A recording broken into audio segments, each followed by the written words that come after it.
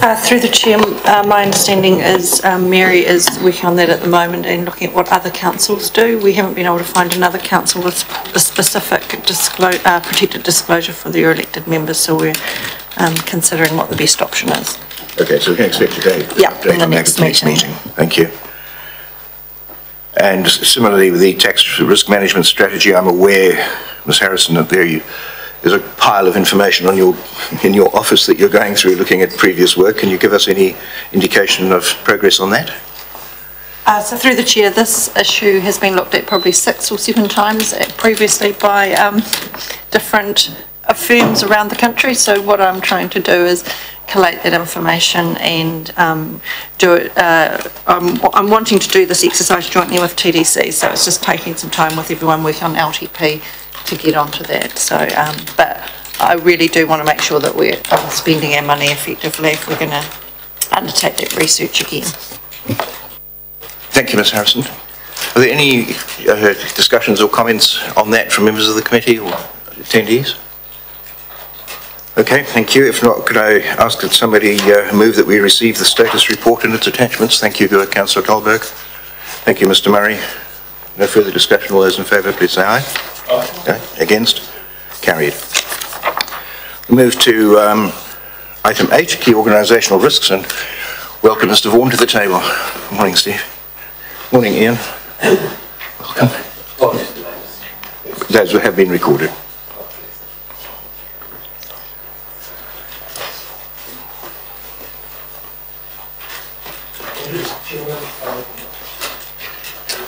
Goes. Um, Thank you, Mr Chairman. Um, I don't have anything to add to the report as presented. There's one small matter of explanation in relation to a proposed exercise for uh, dealing with major disruptions to the organisation, which you will see in the report has been postponed a number of times. Uh, Most recently, that's the result of central government action in requiring us to deal with the regional transport strategy at an unusual speed. And the only opportunity to do so was on the same day that we'd scheduled the exercise for. So it's being rescheduled yet again. Thank you, Mr Vaughan. I'll open the report up for questions from members of the committee. Councillor Dahlberg. Thank you, Mr Chair. Just on the overview and comment really about the better information on risk related to legal compliance. Also seen a uh, report on, which I thought was very good, I might add, about the, our legal, I suppose you'd say, um, events or challenges or activity. I'd like a bit of an explanation on that, thanks. Uh, Yes, most certainly, and through you, Mr Chair.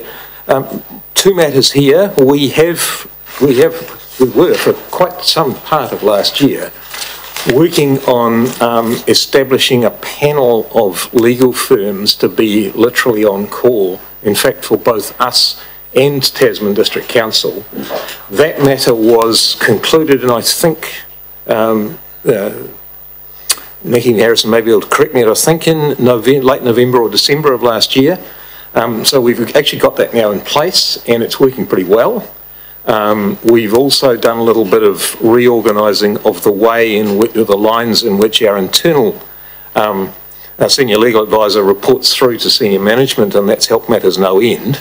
Um, so both of those things, plus as you will see later in this agenda, uh, there's an initiative to advise this committee of the pending legal matters so you have a better understanding of those. And that's reduced the possibility of things going wrong, which is really what risk is about, um, quite substantially in our judgment. Thank you. Councillor Dahlberg.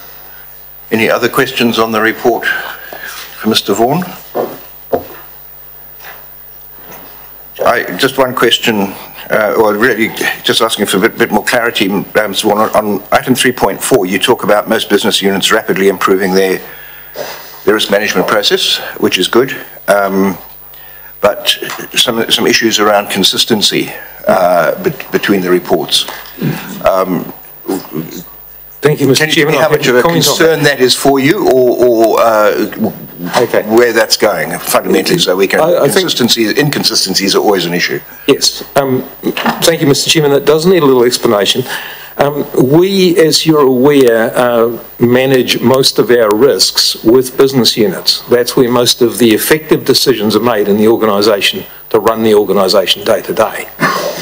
We have had um, some difficulty persuading, particularly people who've come new to this area, that they should assess those risks using a consistent council framework rather than looking specifically at the risks to them achieving their bit of it. So that if I take an example, if a, if a particular business unit hypothetically has a very large project and it says that not finishing that project is a real problem for us, but if we look at that consistently across the whole organisation, the effect of that project being done or not done is relatively small in terms of, for example, failure of the council to deliver a certain service, or the possibility that we may end up in court, to go back to the recent thing. Then the, the assessment needs to be in relation to the council's uh, overall objectives, not simply in relation to something which is sitting in front of the business unit. And getting that change to happen is taking a little time. Thank you, Mr Vaughan, that explains it. Any, any questions on the report or the tables that follow it? Yes, uh, councillor Corn. Thank you, Mr Chair. If I can have your indulgence, I'm not on the committee. Through you to Mr Vaughan. So the greatest risk for this council is in fact the lack of adequate recruitment, you know, people. It's, it's people that's the, the problem. That's the biggest risk. Am I correct in saying? Um, it's, it's in a group of risks which we bring to your attention because it continues to be a relatively significant one. On this table in this report, the largest risk to the council doing its job is actually an earthquake in five minutes' time. It's a large disruptive event which, which destroys parts of our infrastructure. Now, there's only, in, in the real world, there is only so much we can do about that. We can be prepared to deal with, you know, fix pipes, for argument's sake, but only to a certain extent. We can, you know, we can't duplicate everything. The organisation simply doesn't have the money. But up in the, that next group is the fact that we are a relatively small or mid-sized organisation competing in a market for fairly specialised skills. And so we continue to have to work at that. Um, when I went round and did, collected the data for this report, um, we're reasonably confident that we're doing reasonably well in that. We continue to have vacancies, we're continuing to fill them. And apologies for not saying that through the chair, Mr Chair. Thank you, Mr Vaughan. No problem. Are there any further discussions or questions of Mr Vaughan on the risk report? Okay. Thank you, Mr Murray. Um, If there are no further questions, we'll take your, your, your comments now. Thank you. Uh, Through the chair, look, if we've moved into the discussion phase, I'm happy to move the report um, so that we can go into that phase. Thank you, uh, Mr Murray. So uh, it's seconded by councillor Dahlberg. So uh, we'll take discussion on it now. Thank you. Thank you. Um, The report, um, uh, to me, feels pretty much um, rote or, you know, just an iteration of the last one. And when I have a look at the risks in here relative to previous reports, really, we haven't moved our risk assessment along the lines um, up or down, which I sort of understand and accept.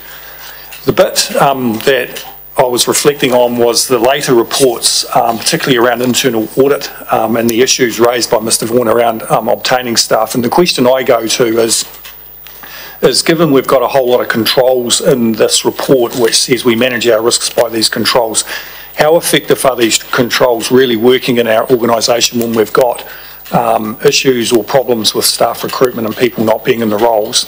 And if I read the internal audit report correctly, senior staff and staff not having time to actually think about um, how effective their controls are that they're looking after and, um, uh, and can they do that better and are they actually working properly, which of course safeguards us from these risks which are in this report. So I sort of started bottom up and looked at the controls and go, well, if we haven't got people and they're not thinking about the controls and we don't know how well they are, how, how good are we managing our risk? And so it sort of circulated up that way for me.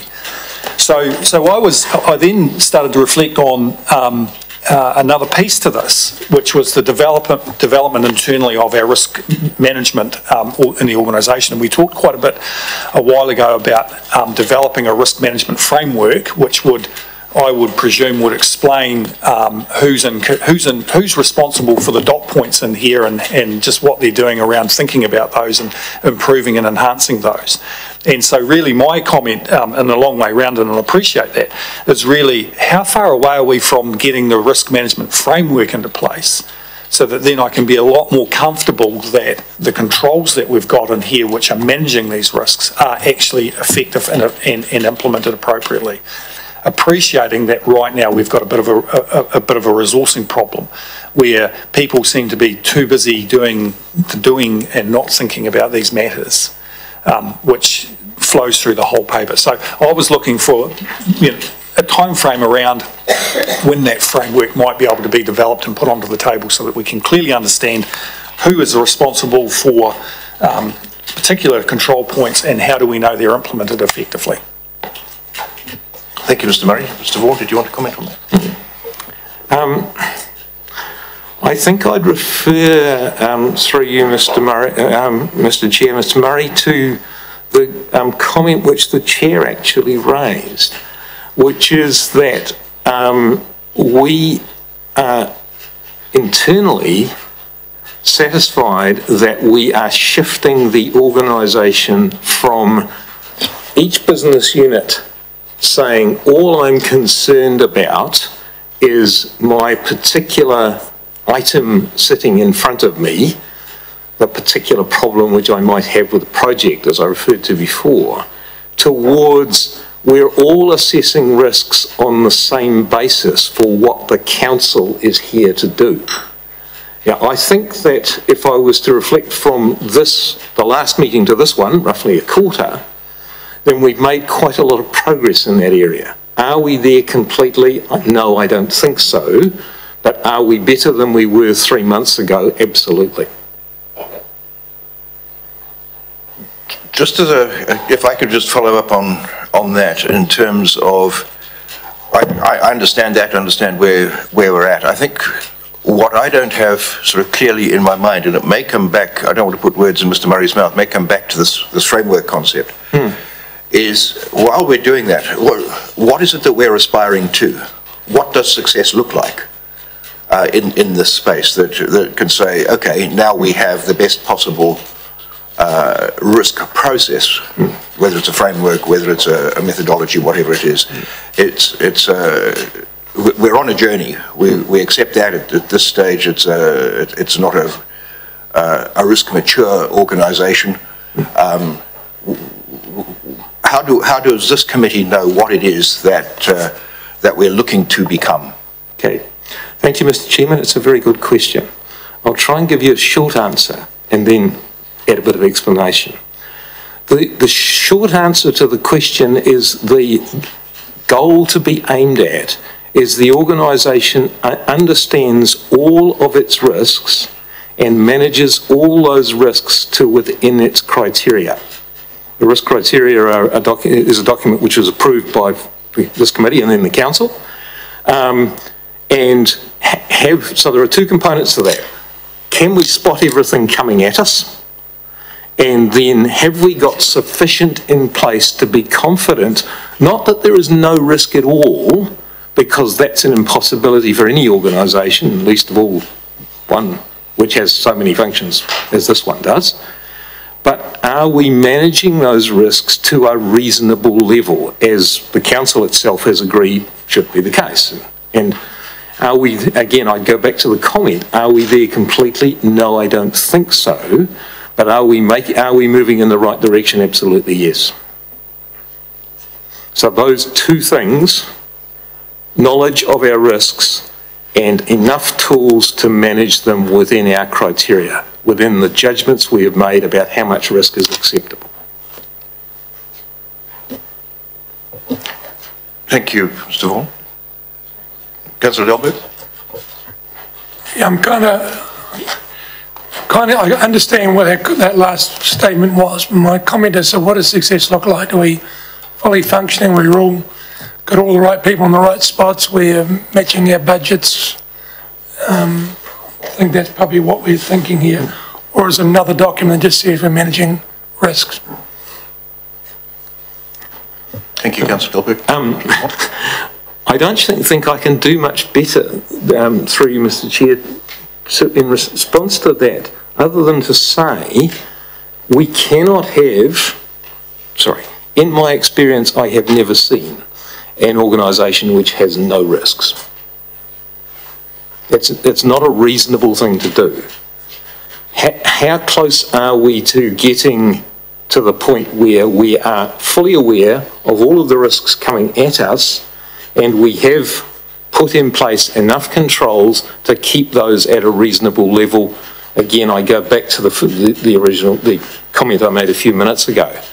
So if you, if you, if you like, if you set that sort of statement up as a target, you, I, I suppose you're going to get closer and closer to it, but I can walk out of this room this morning and talk to a member of staff and discover something which we've never seen before. And we have to be, have the machinery available to then deal with that. And we've had a few of those in the last couple of years. Thank you, Mr Vaughan. I, I, I think, um, yes, uh, Chief Executive. So, um, as, as Mr Vaughan has pointed out, we are slowly making progress, but um, um, we are, are short of staff. Um, and while we will slowly make progress, I suspect, so what, in my view, what happens at the moment is we, um, um, uh, an issue arises, our managers are, are busy, they fail to sometimes spot a symptom early, early in the process because it's not a big symptom and they're busy doing other things. Uh, they spot it later, we react slightly too slowly um, and sc- scramble well, but um, it still aff- affects our, um, our, our reputation um, and can sometimes affect costs and, and times of, of time of a project. So uh, the mayor on her whiteboard, the one that's behind her desk, she, one of the things she has written there is, is organisational excellence. And, and I, she indicated she'd like that within six months of me starting, and I said I think that's a three-year journey. So I think that in terms of being excellent at managing our risks, we're on that, that three-year journey as well. I, I need more bodies on seats, and the council has, is supportive of that. It's, they're fronted as part of the LTP, lifting um, council performance, uh, managing risk as, as part of that, that lifting council performance. Um, I also need people to, to be smart, uh, to use their judgment, to understand that uh, what Mr Vaughan is providing is a, is a tool. It's, it's not the solution on its own. You just, just can't tick the boxes and think that you've done it. So there is also that uh, culture change of encouraging people to to use their own judgment and and make make decisions. So there is a whole lot of things where you know, as Mr. Vaughan's introducing a, uh, a system that encourages people to th- think about the big picture and how we respond to these. But I also need more people with with good judgment and more time to to apply that judgment. And it's yeah, I'm expecting that we won't, will only see uh, little steps every three months, but I think what I would like to think is in 18 months' time, when we look back, we will have seen, wow, look where we have, where we have come from. Thank you, Mr Dougherty. And I, I, just want to add um, something too that was going through my mind when, when, when Mr Vaughan was, uh, was speaking. I think, I think we should take these uh, thoughts and questions from, from this committee as, as actually a very positive sign because I think we've come a heck of a long way in the last 18 months. And, you know, I agree with you and, and, and probably in the last couple of years from where we were. And it is becoming a more risk-aware organisation. And, and as such, I think the expectation of, the, of maturity is, is improving. And I think that's a credit to the organisation that we're in that stage. Um, and, and, and I think we should be as, aspiring to those next stages within the resource constraints that we've got. But, uh, you know, I, I do think we recognise we've come a long way, so thank you for that. I'll, I'll take, did you want to speak, sorry, as a, I'll take councillor Barker first and then councillor Courtney. Yeah, so Thank you, Mr Chairman. There's one area that, that I have a concern about, which uh, I think the risk that I worry about is actually on us, and that is um, category four, management of contracts. The, the section, what do we see this as a risk?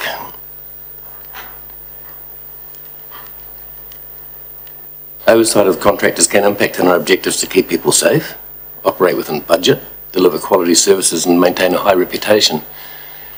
What's missing in there is, to my, to my view at the moment, is and delivery on time of contracts. And why that comes to mind is that we're so long past the original completion date for the Stoke Community Centre. And uh, that has reputational impact on council and just that mere thing alone puts it in the risk map. In my view, a higher than medium impact. So it's just a comment. Thank you, councillor Barker. Uh, did, did you want to respond to that, or I'll go to councillor Courtney's question? There's perhaps a little bit of information which might help in that respect. Um, I'm not sure that this matter has ever come formally before this committee, but one of the other jobs, if I can put it that way, that I was instructed to do when I came here was to overhaul our system of contracting. We have, as an organisation, in rough terms, 75% of the money which comes in through the door, largely from ratepayers, goes out through the door to contractors. We did not have adequate tools for that when I came here. I think I can say that without um, any fear of, of contradiction. We've got most of those in place. What we do have, because we started that process in 2016, is a fairly large wave of older contracts which still have to be brought up to standard. And in addition, we have, as it says in this report, some issues with properly recording that information, which we're also working towards fixing, if I can put it that way. So we, this contracts area is quite clearly for an organisation which does so much of its work by contracting people to do it, a thing which takes time to fix. And so, yes, it's another one of these areas where we're getting the tools in place. Have we got there yet? No. Thank you, Mr Vaughan. Uh, councillor Courtney.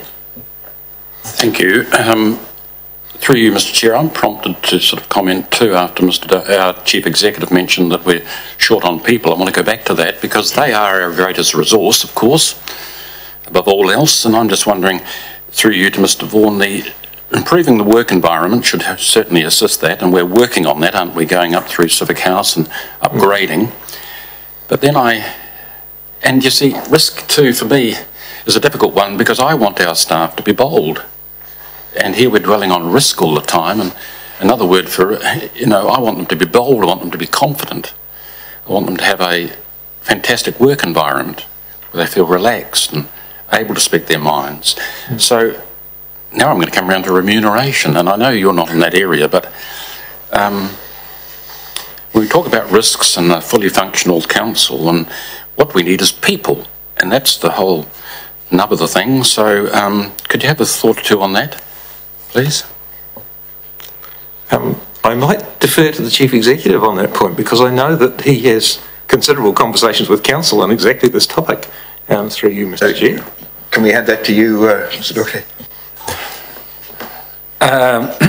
So, uh, absolutely, I agree that um, uh, in an organisation such as ours, uh, people are our, our most most important resource.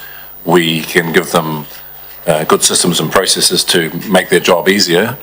Um, and your talk about you want staff to be to be bold. Um, I don't know if I quite want them to be bold, but I do want them empowered to make decisions. I want a, a fast, uh, adept, responsive organisation, and to do that, that's not by micromanaging. That's by encouraging people to to make decisions after assessing the risks and then, then making a decision and moving the organisation forward. That's accepting that sometimes we will make mistakes, but then there's a conversation about, um, okay, what went wrong with your assessment there, uh, and let's not make the same mistake twice. Um, so that's that's the type of organisation I'm looking for, uh, where staff enjoy their work because they are empowered, and they have good working conditions, and the council's supportive of that too. I'm I'm very grateful. Um,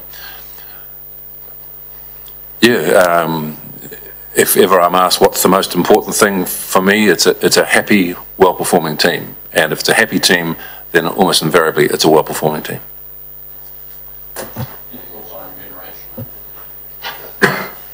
Compared to other local authorities in, in our area, perhaps for a start? Uh, look, we pay um, uh, market rates. Um, we can only, I believe in being a fair payer. I don't think we can, as a local authority, using ratepayers' money, be um, uh, generous. We, we can be fair. Um, we'll recognise good performance, pay above the median for our, our outstanding performers, but it is critical that we um, we do pay the fair market rate. I don't believe in anything called a sunshine bonus. Um, but, and if we're paying a fair market rate uh, and providing a good working environment, a positive working environment, then staff enjoy the place, they're more likely to stay. But I'm still vulnerable if a consultant or a contractor wants to, to steal one of my top staff and pay, you know, well above the odds, then I, I, I struggle to compete with that. In Kapiti, I lost staff for $40,000 pay increases.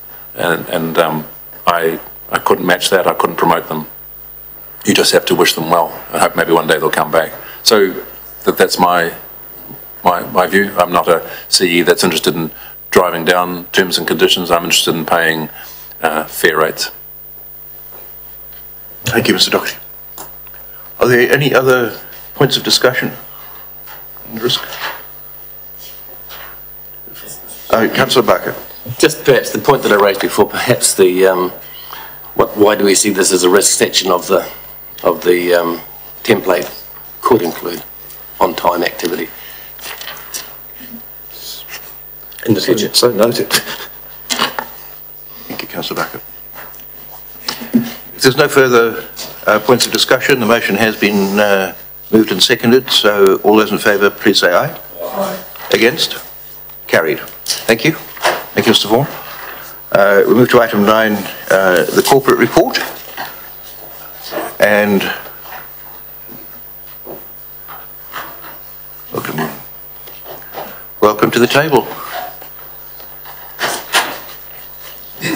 Any items of highlight or update. Hughes, that you want to provide? Take the report as read, but uh, is there anything you want to highlight before we ask for questions? Uh, good morning, everyone. Through the chair. Um, it is included in the report, but I would just like to highlight the section on the February storms. Um, we are getting obviously more and more information as time goes on with that. So uh, for this report, which is to the end of March, there is some $400,000 of expenditure, unbudgeted expenditure, that is flowing through um, these figures. Um, also, Pleasingly, I would like to highlight um, that on, as you'll see from the capital graphs, which I think are on page, let me get to it, uh, page 45, um, that overall we are on forecast to the end of March for our capital expenditure. So that's, uh, I'd just like to highlight that. There are obviously overs and unders in individual projects and also within the activities. Other than that, um, yes, I'd like to just point out on page 37, paragraph 426, uh, the, la the, last sentence should have been updated. Um, the bar graph, this is the capital again, records year-to-date expenditure against forecast budget by activity. We brought those two graphs into line um, for this report. So that aside, um, my view is that this report is largely business as usual. Um, no alarm bells ring for me, and I'll take it as read. Thank you, Ms Hughes. So, are there any questions, clarification of the report before I Councillor Dahlberg? Yeah, thanks, Mr Chair. Um, page 45, in really the actual budget or forecast to the budget carryovers. I see one's sort of 16 mil and one's 40 mil. I've got that right. Is that that discussion about um, us getting our projects back to the resources, the available resources? Through the chair, that, that is correct. Uh, the, the forecast was made during the LTP progress, uh, sorry, um, process earlier in the year, um, when we were having those discussions about what council can, can realistically achieve. Um, all of the projects were looked at pretty much individually, I think, in order to get to that figure. And it does come to what we did expect, which was around the 40 million mark. Yeah, thank you, Mr Chair. Just, sorry, sorry. I, I just thought maybe a note on that, if I was an external person reading that. These are, are public documents. They're probably noting, most people probably see there's $20 million difference and maybe we note in there that Thank you, Councillor Dahlberg. I think save people, save people writing in. I think that would be a useful addition, thank you. Any other questions before? If not, would somebody move that the report be received? Thank you, uh, Councillor Barker, thank you, Councillor Dahlberg. Uh, Any discussion on the report? Councillor Courtney? Through, through you, not, just another question actually to Tracy, through you. You're, you're proud that this uh, um, forecast on capital expenditure is, you know, on, on, on track. Um, Do you see that continuing through into the future? Through the chair, um, yes, certainly, I certainly hope so. Um, there are some projects that are, are moving ahead of schedule and some projects that are going slightly slower, but on balance, we're tracking toward um, our 40 million for this year, or the approximate 40 million for this year. And we've done that by um, rephasing those projects that um, had risk in them. That meant that they were unlikely to be achieved this financial year, so we haven't actually stopped doing anything. We've just adjusted the phasing to make sure that it's more uh, appropriate to the delivery of the project. Can council take, through you, Mr Chair, can council take some credit for this? Because we have cut our cloth and decided wisely, taking the advice of the chief executive, that we uh, bring our capital expenditure into line with what's achievable. And I think the figure was 40 million, so um, are we uh, in some way uh, being proved right with this? That's what I want to know. Uh, through the chair, I think the chief executive's decision to um, to adjust our spend was a good one, and um, yes, I think it is it is uh, reflecting that. Thank you. Any other points, uh, Councillor Dahlberg? Just a question on, um, I'm not sure what page, uh, 46, maybe page, yeah, page 47. Okay, um, Queen's Garden toilets, I know that came up a few times on the long-term plan, so I I need to ask, mainly on the red item on time. Do we have a, do we have some update on that? Through the chair, the Queen's Gardens toilets um, was tendered and awarded to Watson Hughes. And they did a good thing in the fact that they told us that they had a resourcing issue, that the, um, the contract manager uh, that they had lined up to do the work had moved on and that they couldn't start it. They could have started if they wanted to, but they wouldn't have, um, they wouldn't have, they wouldn't have worked efficiently without a, a good contract manager. So they've delayed the start, um, and it's reaching a point now where um, I've gone back to them and said, look, we need to reassess um, your capability in delivering this project, and that's where we're at. We're just assessing whether or not they will have the resources, um, and uh, obviously we want all their resources to be devoted to the Green Meadows Centre. Um, and I think that in the near future we'll come back to council recommending that um, that we either retender or look at other options to deliver the project that, that exclude Watson Hughes. So through yes, I'm assuming that same contract just hasn't got the staff, and we're, when we're adjusting our thoughts along that line. Through the chair, that's correct. And um, it is positive that they've told us that and that they haven't just started and then that we've learnt it and the, the, um, the project's become problematic as Green Meadows had. So that is a positive. Um, we're we're not committing to starting until we have, or until they have their um, ducks lined up. And if they don't, then we'll come back to council with an um, alternative recommendation. Thank you, councillor Dahlberg. Councillor Barker. Thank you, Mr Chairman. Could we um, have a bit of analysis on, on the capital expenditure, particularly the Green Meadows, the extra 590k, not reflected in the graphs yet, and the, the, the uh, warning page on page 39, which shows us that, um, what, we've got $10.7 million under expenditure. So we're, we're, we're tracking nicely along the forecast line, but we're 10 million below the, the actual budget line. Has that Green Meadows one had any effect upon those outcomes?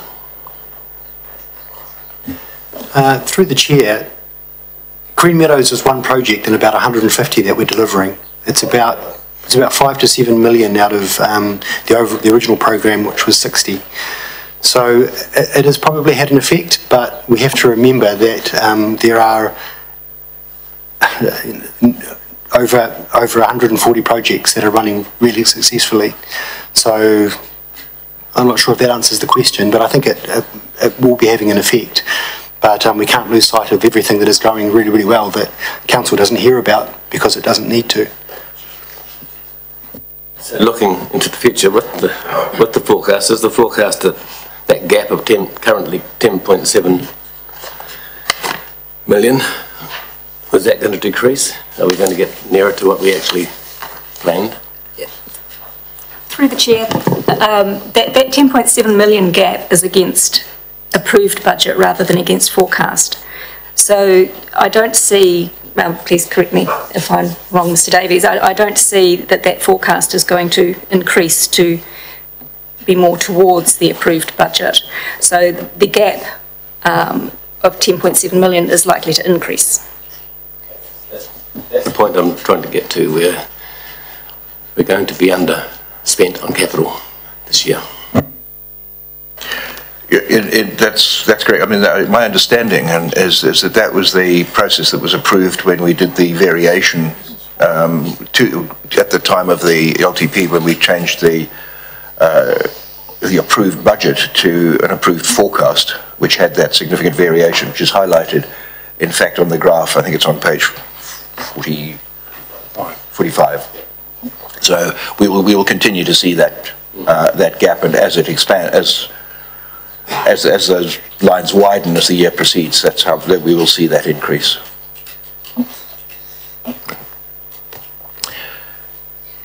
Mr Murray? Thank you. Um, Just a, a, a quick overall question, um, just on some of the variances that are coming through, particularly in the expenditure lines. Um, appreciating that we are um, bang on budget really, and if not slightly ahead, which is very pleasing, um, given we've got a um, quite a, a large account.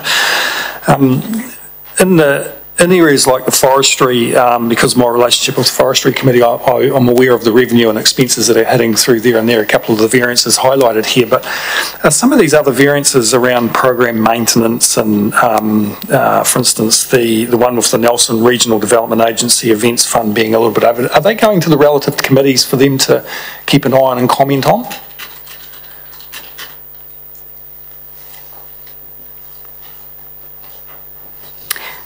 Through the chair, I'm, I'm not entirely uh, sure what goes to the relevant committees. Um, I'm more than happy for this report to be distributed to those committees. That, that's certainly not a problem. Um, the information in those variance reports comes from the, uh, the people on the ground, if you like, the, the managers of those areas. So I, I'm just not aware of what the process is, where that might feed up through to the committee.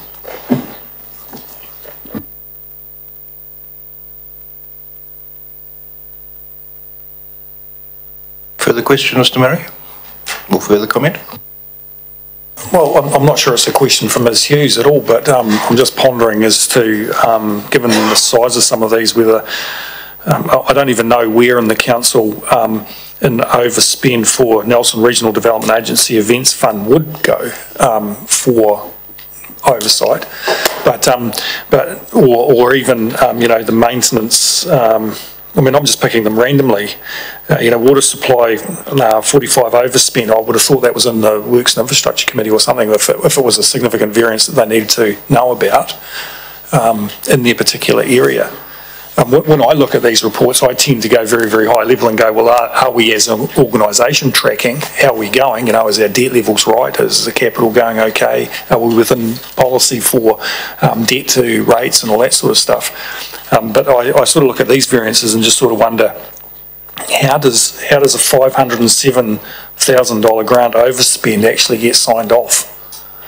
Um, just, a, a, a- yeah, just a question. There's, there's probably, there'll be processes within processes here, I'm sure. Ms Harrison will So, respond. so, sorry, so so through, through the chair, just to be clear with the NRDA, um, overspend, it isn't an overspend, it's a reserve that we run in council. Um, that's, they effectively, we, we made a, council made a decision a number of years ago, is that, um, rather than just paying all the money across to them, we'd hold it in reserves here and pay it across. So they're drawing down last year's reserves, so it's actually a reserve variance, it's not actually a pay now, so there'd be no um, way that that would go through. I I mean, it is an interesting question, this is a finance report, this is a finance committee, so you are the holders of this information, so if you do want stuff pushed out to the committees, um, you know, that's probably where we need some direction from. The- There are capital um, reports to be going up to Works and Infrastructure, etc., where there are capital requests and variances, but really, um, the, you know, the officers have KPIs around spending these budgets, and, and I suppose this is the, the forum that the finances are reported through, certainly from an, an operating expenditure and revenue perspective. I know um, Planning and Reg have quite detailed quarterly reports that go up around building consent numbers, resource consent numbers, um, and um, income related to those, but they're not really specifically at this level of detail.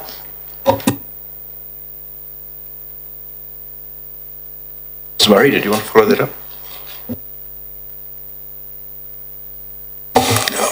Well, I don't know how far we should sort of go with this because we're, we're starting to now getting into some planning around structure, but um, uh, I, I suppose that it, it just sort of highlights for me that there's a wee bit of a, um, an issue around how council committees are structured relative to the organisations and activities of council, um, of the operation itself. Um, so I, I suppose I, I suppose that's harking back to a little bit of a bugbear of mine where um, where I like to know who's responsible for what within particular activities in terms of a governance framework and then how that's supported by management and have some clear lines.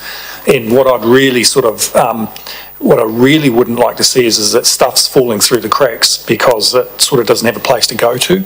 But yet someone's managing it. I'm very sure management have got all the lines down there. But um, so, um, some some matters, and, and I look, I, again, there's a materiality type issue here where you wouldn't put every dollar and cent up, but if you were running significantly under or significantly over in a particular area, you would report it somewhere. But the question is as to who and how does that line up? And that's the bit I think we've got missing here. Um, so I- I'm not sure how much further we can take this comment. It's not, it's not, um, it's not the finance report per se. Um, there's nothing wrong with this. It's just how, do- how, how does the organisation respond to this? And it's, um, probably a question for a bit more pondering and a bit more consideration outside of the meeting, perhaps. Thank you, uh, Mr Murray. It may, may also be a, a conversation in due course at, at uh, Governance Committee or somewhere like that in that, in that space. Councillor Barker. Yeah. Thank you, Mr. I've been pondering it from a governance committee point of view, and reflect upon the fact that we used to cover this communications matter before the, before the um, event of the Audit Risk and Finance Committee. This was normally handled at Governance Committee, and the Governance Committee comprises, what did comprise then anyway, chairs of all the committees. That was the time when I sat at the chair of the Governance Committee. I could point out to the chair of the relevant committee the matters that were in the finance report that were of concern to them, and that was how it was dealt with. Now, we've evolved. We haven't got that system to the same extent now that we did. A solution could be that the Audit Risk and Finance Committee could, where it sees variances or sees concerns, that the Audit Risk and Finance Committee can report to either the Governance Committee or the relevant committee. So the relevant committee does take ownership of a problem with it, its sphere of responsibility by way of a, a report to it. So just a, just a thought, and again, it's a, it's a high-level structure thing that we're, that we're going to have to sort out. But I take on board what John said. Thank you, uh, councillor Barker. Uh, Did you want to follow that up before I go to councillor Dahlberg? Just a small point there, Mr Chair. that, uh, um, This document's uh, uh, available to- to all councillors. So my question is, yeah, I appreciate we could be sending it off to different places, but everyone can actually read this. It's a case of then whether we need to highlight if it's very significant. Thank you. To, uh, my comments are based on the fact that I believe the committees should be responsible, should have responsibility for their areas of operation. And, and following on from that, I suppose if I reflect on what happens in, in the forestry group is we look at that as a specific matter, you know, how much revenue we got, how much have we spent? Um, so I sort of look at that and I go, yeah, I know all about that tick. Um, but I, I, I just wonder, I don't, wouldn't even, again, a bad example, but if I, if I go back, who, who would actually look at, um, the, you know, the unpro, the programmed and base maintenance costs are less than budget, who would look at that um, and be concerned about that? I mean, I'm, ha- I'm very happy that we have to balance our books, and this report tells me we're balancing our books. But in terms of that swing and roundabout, I th- and I, I agree, it needs to go to the chairs, but is there stuff, uh, does everyone do that? I don't know. Um, and that's a wee bit informal and a wee bit loose in my mind. So anyway, yeah, I think it's just something that needs to be revised and looked at as part of the committee structures.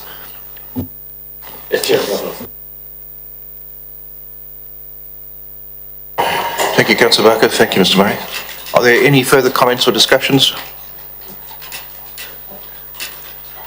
The report has been moved and seconded, so uh, would those in favour please say aye. Aye. Against? Carried. Thank you. Thank you, Shane. Thank you, Tracy. We move now to item 10 and welcome Ms Anderson to the table.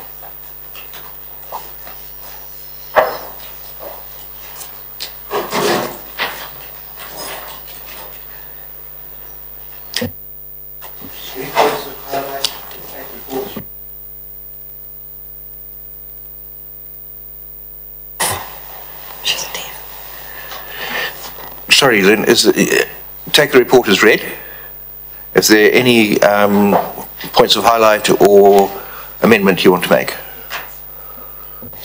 Uh, Thank you, Mr Chair. Um, I think we can take it as read, however, the- uh, there are a couple of minor things, and and one thing is just to um, advise that the contract renewals audit, those, that's gone in front of SLT, that went in front of SLT yesterday. And it's just to reiterate that um, the focus of this report is that you know, we, we are reasonably up to date, but as we've discussed um, a lot through this entire meeting, um, there are issues in relation to resources in the organisation, and we need to address that and address the risks and how we deal with the risks appropriately. And this paper uh, addresses that as well. So that was the focus of the report. Thank you, Ms Anderson. So questions on the report? Before- If there are no questions, would somebody move and second it before I open for discussion?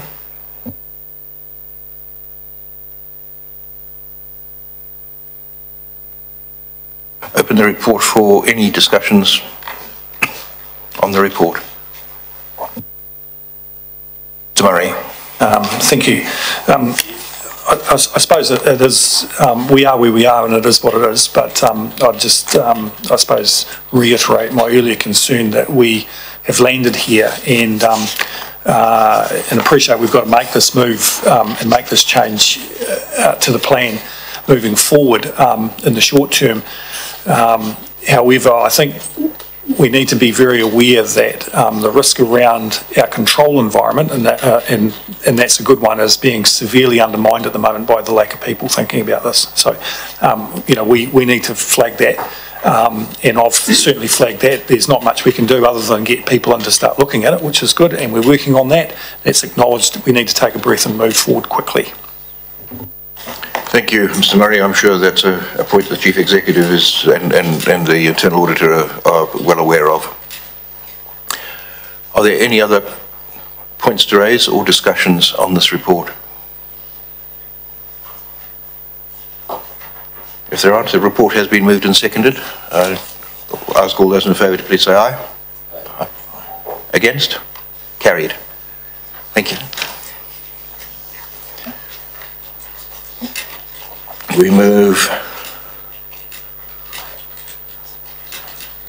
to the summary of new outstanding significant risks. And uh, same same point, any items you'd like to emphasise uh, or, or uh, update? Um, no, we'll just take that one as read, I think. Thank you. I'll take any questions. Thank you. Any questions of clarification from Ms Anderson? Mr Murray? Yeah, thank you. Just one question. Um, on page 58, um, uh, there's two items there. There's business planning continuity, or business continuity planning and delegations. Um, at the bottom of the delegations, on the bottom right-hand box, it says these items are on track for completion by the end of June 2018. So I understand that we've got a process and a progress going um, in terms of what's happening there. Business continuity, though, um, do we have a by when for the business continuity um, progress? Through the chair, I think it's in July sometime. Mr Vaughan should be able to help with that. Thank you very much. Um, I alluded in my report to the fact that we had had to postpone the exercise, which is the next step in testing our business, our capability to continue business under large adverse events from, um, you know, I've got the date correct, last Friday, the 11th. Um, and the date is still to be decided or was decided yesterday and I wasn't there, I'm sorry. Uh, so through the chair, the business continuity um, test will be the 27th of, of July, um, but I just want to emphasise that that is really just a test and, and there'll be stuff and learnings that will come out of that that will help us establish um, um, what we need to be going forward. So it is an ongoing piece of work. Thank you, Ms Murray. Thank you, Mr Vaughan. Any other questions? Clarification on the report? Would uh, could I have somebody move and second that report, please? Councillor Dahlberg. Councillor Barker. Any further discussion before we put the motion?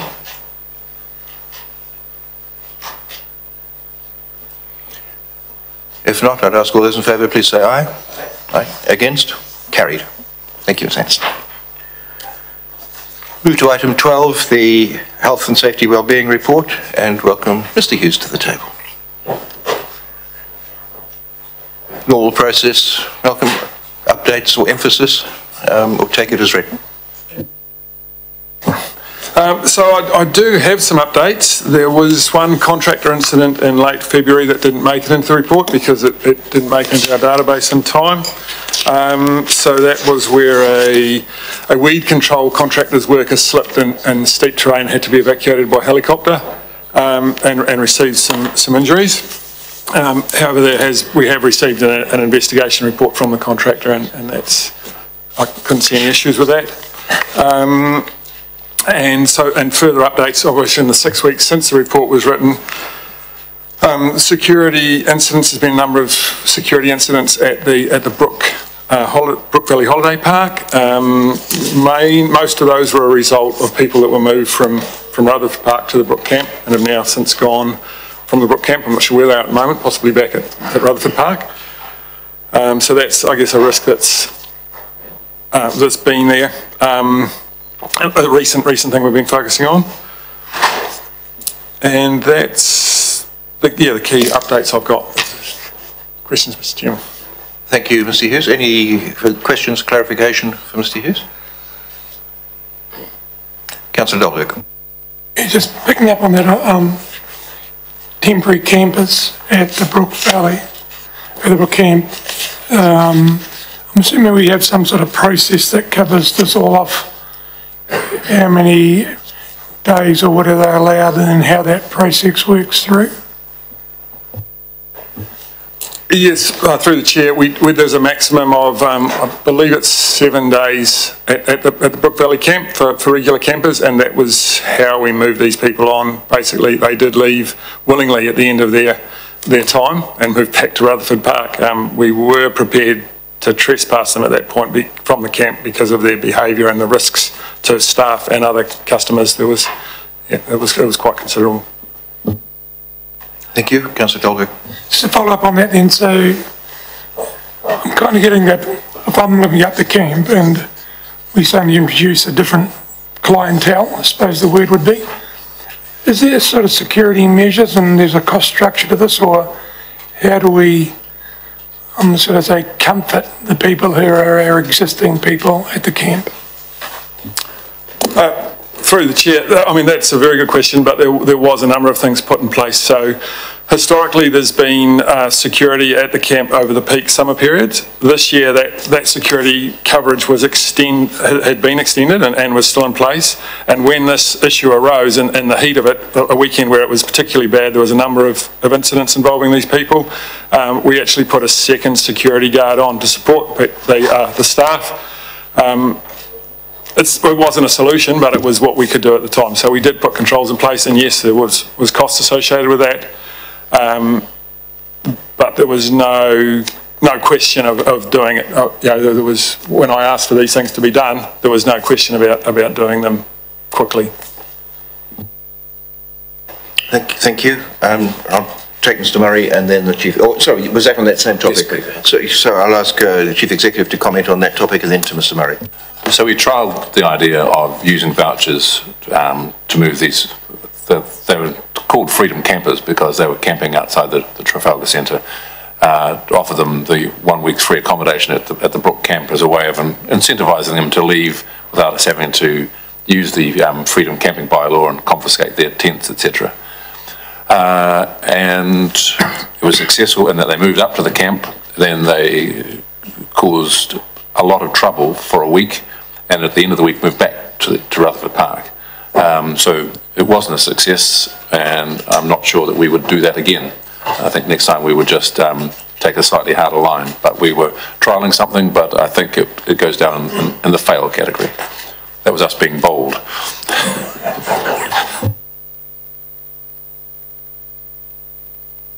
Thank you, uh, Chief Executive. Uh, Mr Murray.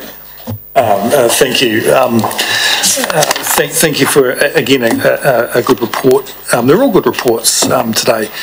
Um, Look, I just want to come back to 5.3, and as you know, this is a wee bit of a hobby horse of mine.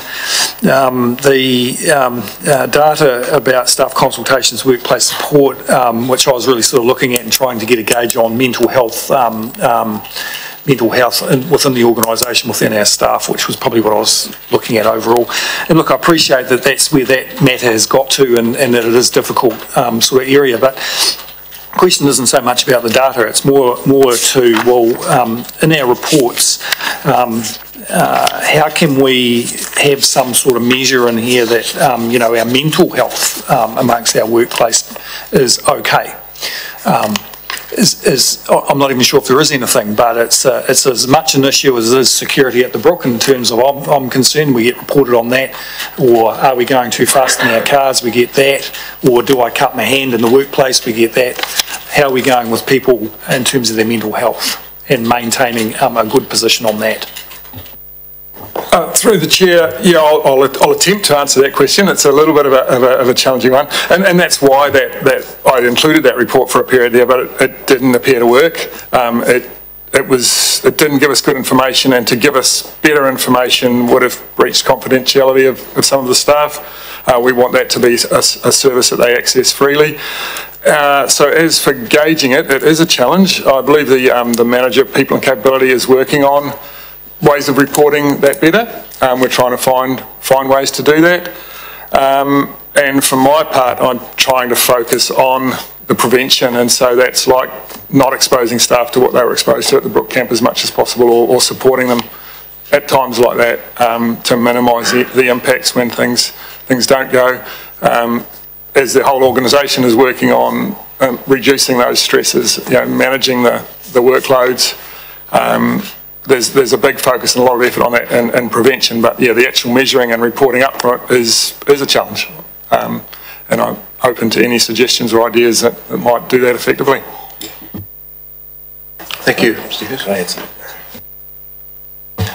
So it is also a, a topic, a topic of conversation at the Chief Executive's Employment Committee is the well-being of staff. And we are looking to um, use a, a different survey tool to um, uh, assess the, the culture of the organisation because that is a, is a, is a critical factor. As we discussed, staff are the most important resource.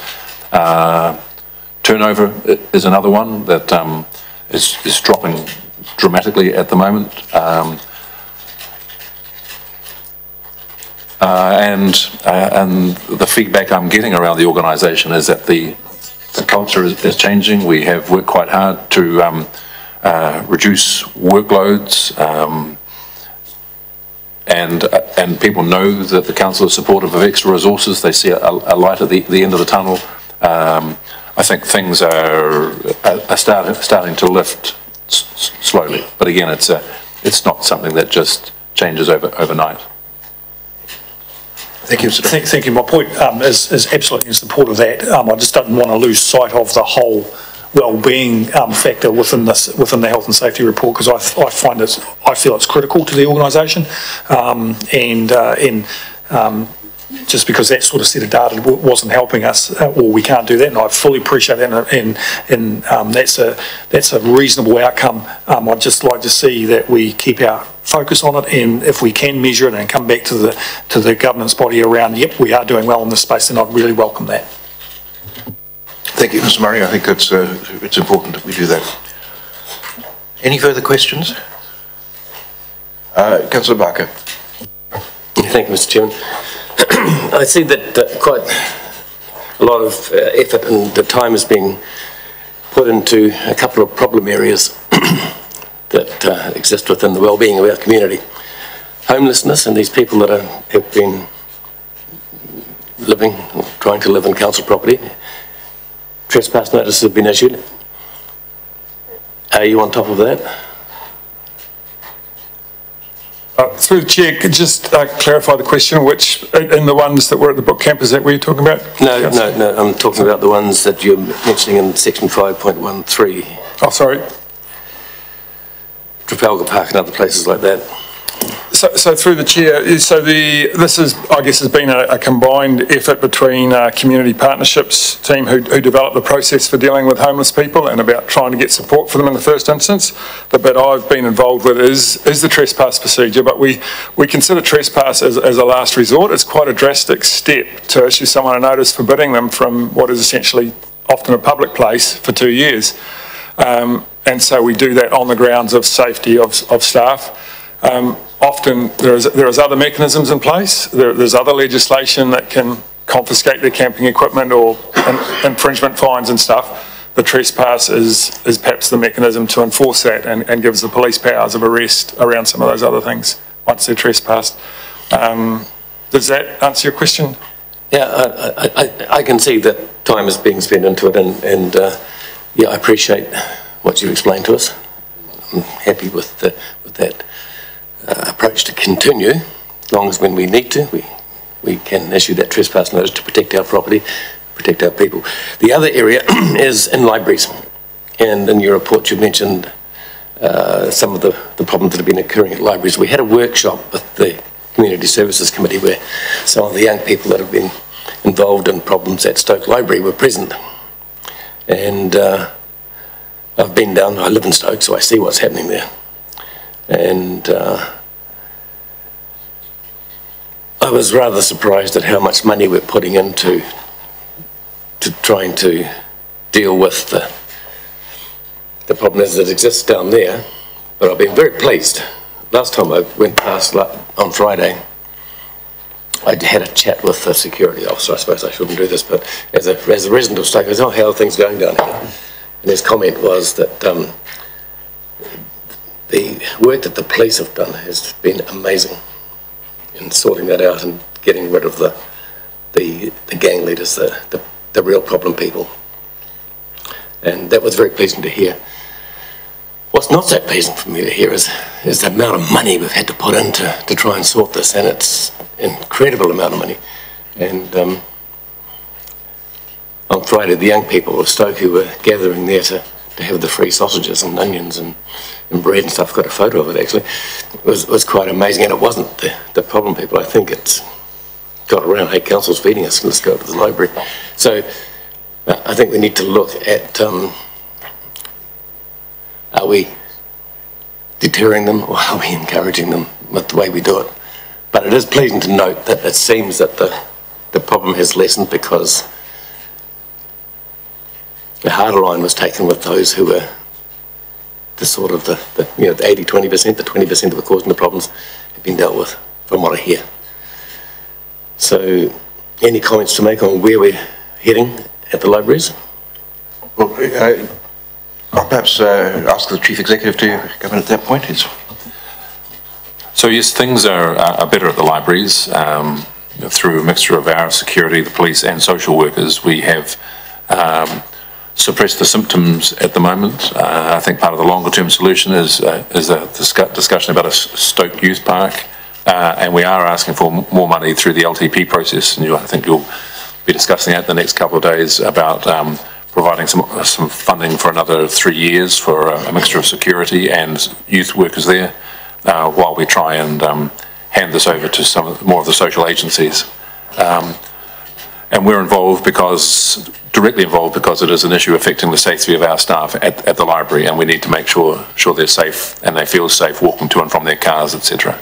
Um, but you, you're quite right, it is a, a problem that it's affecting I'm aware of um, the children of staff members who won't walk past that area because of, of intimidation. So it is a bigger picture issue where we need more help from the government agencies as well.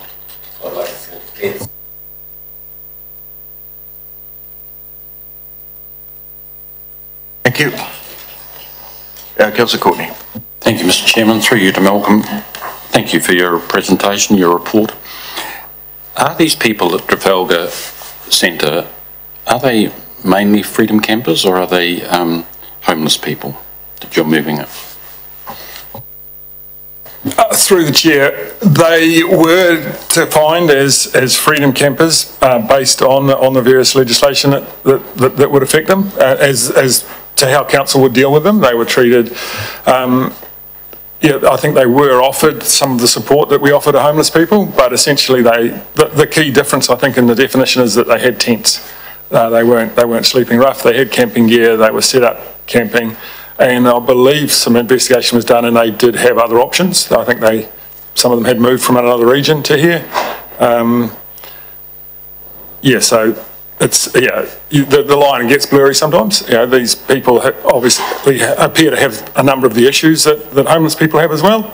Um, and different, different set of criteria might, might give them a different definition, but it's, um, Can I just continue that through you? Malcolm, has your bold initiative of sending them up to the Brook Camp with a, a week's, week's voucher, has it worked previously? And do you intend to keep it as part of your armoury going forward? I'm not aware that we've, we've, we've tried that before, um, and I was warned when we tried it that that, that could have adverse uh, consequences at the Brook camp, and it did. On the manager, uh, I understand that some campers left, um, so it, it um, I think we would probably have to be more selective um, about if we were to offer that. It wouldn't be to a group of four, um, because just their mere presence in the kitchen wasn't wasn't was intimidating. Um, but we are trying to uh, work with these groups first, um, trying to find a, a social solution, uh, getting the Salvation Army involved. Um, but it is a challenge. Some of them have already been through alternative, uh, the alternative means of accommodation. They don't like the rules. Uh, yeah, and what we are noticing is that there are more, and they seem to be arriving. Nelson seems to be a, um, yes, yes, a lot of these, these people are from, from out of town. Thank you, Chief Executive. We've sort of moved into the discussion area anyway without having put the report, so I'll, I'll continue down that, that path at this point, but uh, is there anything, anything further that anybody wants to raise? Just one, um, one minor point, Malcolm, relating to the report format, and I'm just looking at 2.1, the summary uh, which, which sort of on the face of it looks like an extension of the, of the purpose of the report. And I wondered whether we're missing an opportunity there for you to have a space in which you can just provide a summary of sort of current issues or, or, or current things that, uh, uh, you know, may be trending or something like that. So just a summary of the content of the report rather than a summary of the purpose of the report. It might just be a useful uh, place. It's just something to consider. I don't need a, a, a response to that at this point, so.